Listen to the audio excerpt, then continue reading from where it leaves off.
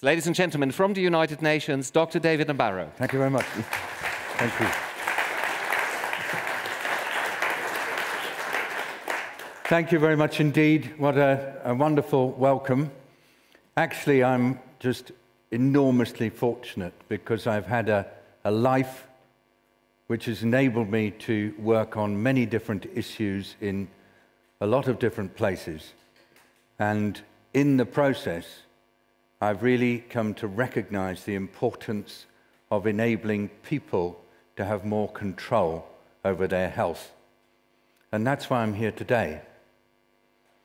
I will start just with a few, few minutes, a couple of minutes, talking about breast cancer as a public health doctor because I think, in a way, that's what you would expect of me.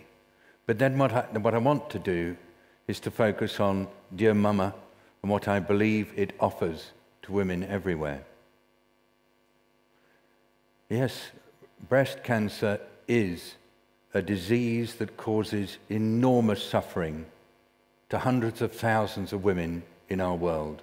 We all know people who've experienced breast cancer we all know people whose lives have been cut short, often tragically. And so, all of us who are working in public health really long for there to be ways to reduce the suffering due to this disease. And as Sonja Dinner has just said, one of the biggest difficulties is that it is a disease associated with stigma and shame. I don't personally understand why, but I can venture some guesses. But the reality is that early diagnosis and treatment of breast cancer does give us extraordinary results, and that too often the diagnosis is delayed, and that leads, unfortunately, to an early death. Now,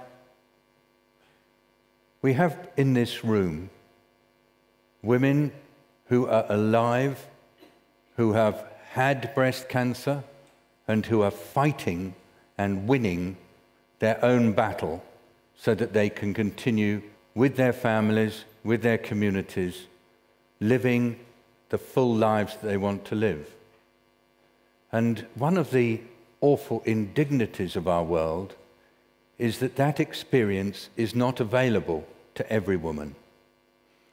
And that's why any activity that can increase in the ability of individual women to be able to survive breast cancer and to live well with the illness, any innovation that can do that is to be welcomed.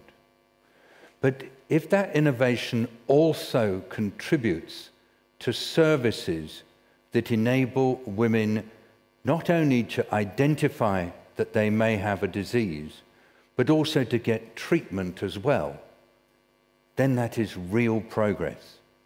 And if that innovation goes one step further and takes the issue into society, so that people in positions of authority and power can stand up and say the situation for people with breast cancer is unsatisfactory, it's an indignity, it's actually offensive that so many women are unable to get access to care, then it's a very special innovation indeed, helping the individual woman, helping women in, as a community, and then helping to get the issue into the attention of society. And, ladies and gentlemen, that's what I believe DearMamma has the potential to do helping individuals, helping establish good services, and helping get the issue higher up the ladder of political attention so that it's taken more seriously. So, as somebody who's done international health all my professional life, it's a real honor to be standing in front of you and saying to all of you, I believe that this innovation has extraordinary potential for women everywhere.